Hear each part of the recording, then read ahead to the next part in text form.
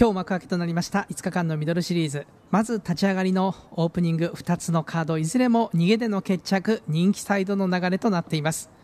迎えるカードは第3レースドキドキナルトです。1号艇宮本夏樹2号艇隙柄貴俊3号艇山之内正人4号艇長谷川巌5号艇葛原弘明6号艇中野和弘。以上6選手の対戦です。このレースもコース取りに大きな動きはなさそう。絶好枠宮本夏樹がインコースの侵入この後ドリームに登場するメンバー。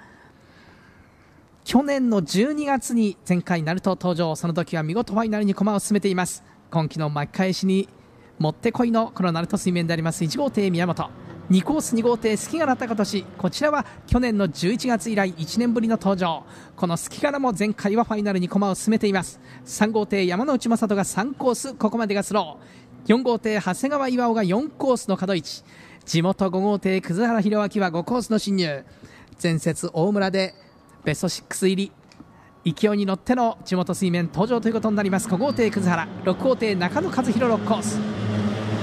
現在ほぼ無風に近い状況。第3レースドキドキなると1番2番3番ダッシュ4番5番6番スタートしました。センター3コース。3号艇山之内が好スタート。スリットから出て攻める体勢も1号艇宮本夏樹が先に回る。まくり出し飛び込む3号艇。狭いところ割ろうとした地元5号艇葛原ですが前が詰まった。内をついた4号艇長谷川よサッシャンドルからわずかに優勢。しかし先頭争い大激戦。外3号艇山之内も粘って内からは2号艇隙柄6号艇中野和弘も接近。4艇固まる先頭争い。第3レーススタート正常2マークは4号艇長谷川岩を握った3号艇山之内に内をついて6号艇中野和弘。ぐっと差を詰めますが立ち上がり前に出た4号艇長谷川岩が先頭。一定心半の差で6号艇中野和弘。2番手。2号艇隙柄貴俊。3番手。4番6番2番の体制となっています。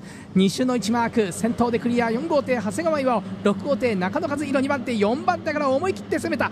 3号艇山之内内をついた2号艇隙柄貴俊と。今度は2番手争いが3艇固まる状況。その間に先頭は独走体制4号艇長谷川洋を抜け出した。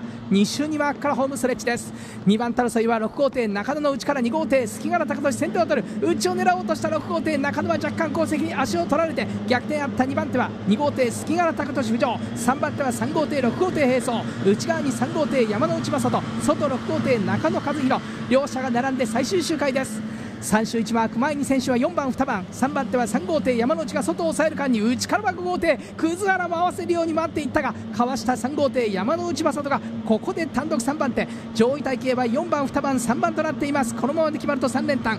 423黄色いオッズが飛び出しました。1410倍以上の高配当ラストコーナーからホームストレッチ4号艇長谷川洋先頭2号艇隙柄高俊2番手3号艇山之内正人3番手423でゴールです。先頭4番長谷川ゴールイン2番手2番隙柄3番手3番山之内5番6番ゴールインラストは1番宮本ゴールインです。